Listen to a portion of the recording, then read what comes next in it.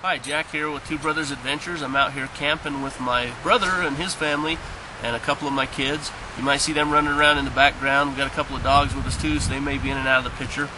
Um, we're up here. It's uh, raining a little bit right now. We've got the tarp up over the top of us. You can't really see that, but we're going to try and do this video anyways.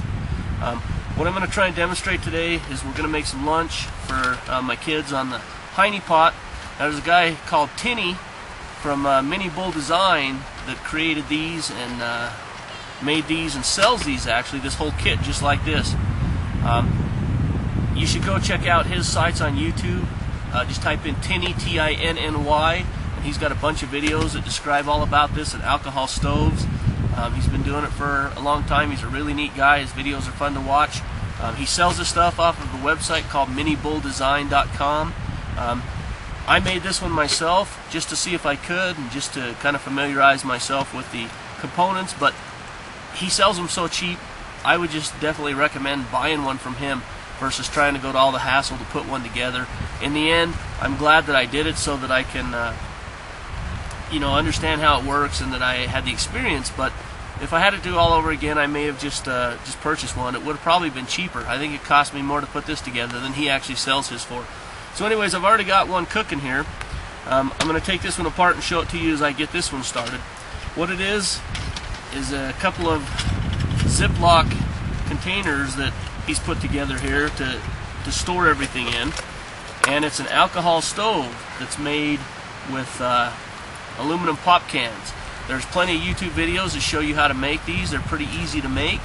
Um, I definitely recommend trying it just so that you can understand how it works and it's just something fun to do and it's a good skill to have.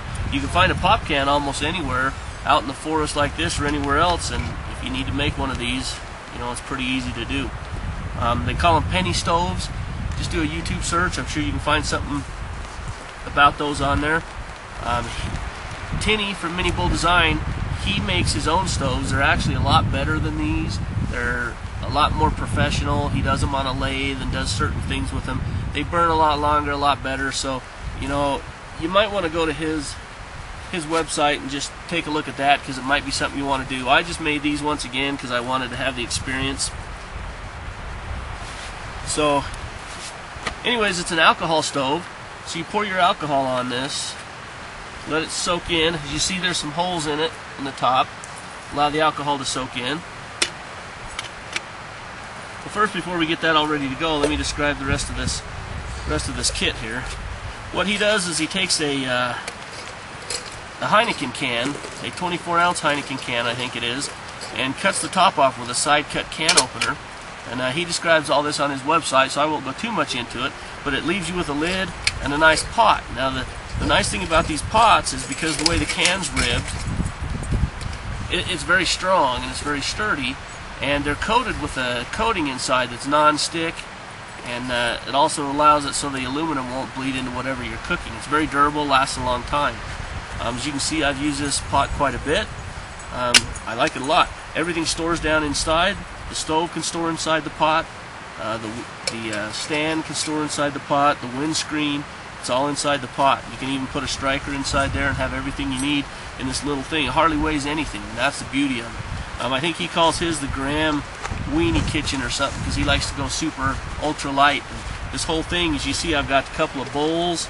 I've got a stove, I've got everything, and I, I don't know how much this weighs, but it basically weighs nothing.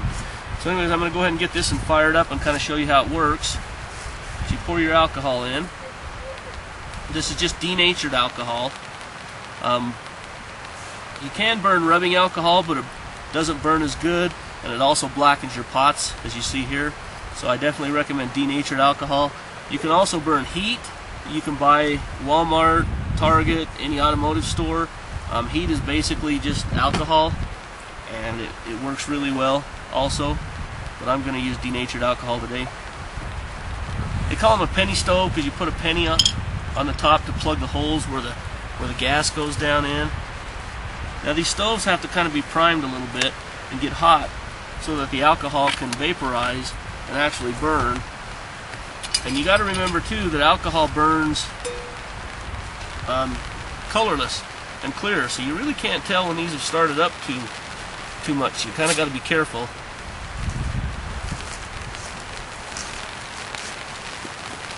It's easy to see when you're inside, but when you're actually out here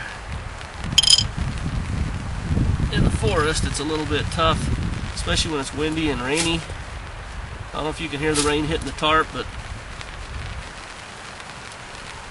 I'm gonna have to probably put up a windscreen here, so the wind's actually coming from behind the camera, so sorry about this, but it's gonna kind of block your view a little bit. Let me get it going and get it started, and then I'll. Oh, it's actually going. See, it's, it's hard to see when it's uh, when it's lit, but that's actually it's burning. Oh, I think it went out.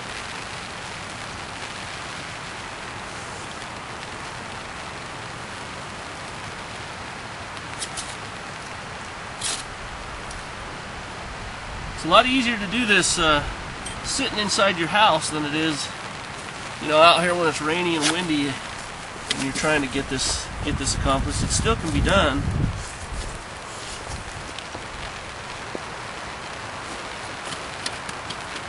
But it's a lot tougher to do it when you're out really doing it. Chloe, move out of the way. Come here. Come here. Sorry, that's my dog Chloe. She just wants to see what's going on.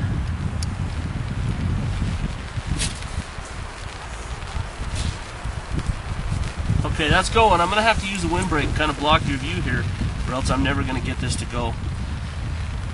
Okay, so I've got this pot stand. This is just hardware cloth. You put it out, and it, it actually clips right on the bottom of your pot. Stands over the stove, as you kind of can see this one. The stove is underneath it, and it just burns up through there. I'm going to make some ramen noodles today. So what I'm doing is putting two cups of water in here. And I'm going to get that, bring it to a boil. Got my gloves so that I don't burn myself while I'm playing with all this hot stuff. Now, I haven't done it because I haven't bothered to yet, but Tinny from Mini Bull Design, he has really cool system with his where he wraps the green part of these cans with a wick. And it what it does is it allows you to grab the can even when it's got boiling water in it. And it's, it's a really great thing. I haven't bothered to do that with mine yet. So I just have to wear gloves and do it this way. But that's another reason why I'd recommend that you check out his site and do his maybe buy his kit because he gets all that you know good stuff for you like that and you don't have to worry about trying to find it or mess with it that's the biggest reason I haven't done it is because uh, is because I I don't know where to find the stuff. I haven't looked into it yet. So, anyways, I'm gonna cut now, and uh, you see this one starting to steam. When this gets boiling, I'll bring it back on, and we'll show you how we get it going here. All right, we're back, and as you can see, this uh, pot on my right here is boiling. Um, it's got a good rolling boil. You probably really can't see that, but you see the steam coming out. So what I'm gonna do is I'm gonna blow this stove out, and then I've got my boiling water that I'm going to pour over my ramen noodles here. This is going to be lunch for one of my kids. So anyways, I'm going to sit here and wait for the next one to boil because I got one more uh, hungry kid to feed. As you can see, these work really, really great. Probably took me about 10 minutes, uh, maybe 12 to get this to boil. Um, they work really great. They're excellent for backpacking and it's light. Uh, I brought it up here to use just because I wanted to try it out and maybe do a quick little video on it. But definitely go and check out Tinny's website or his uh, his uh, YouTube videos. That's T-I-N-N-Y Tinny uh, for Mini Bull Design, and also check out his website minibulldesign.com. Um, he sells all this stuff plus a lot of other neat things. Um, I got him to credit for all of this stuff. Like I says, I made all this myself but I wished I would have just bought his stuff because it probably would have been cheaper in the end. So make your own, go to his site and uh, buy his stuff. Um, great guy. I'd love to have somebody support him and uh, help him out. So I'm going to go feed my kids and keep your knife sharp and have a good day.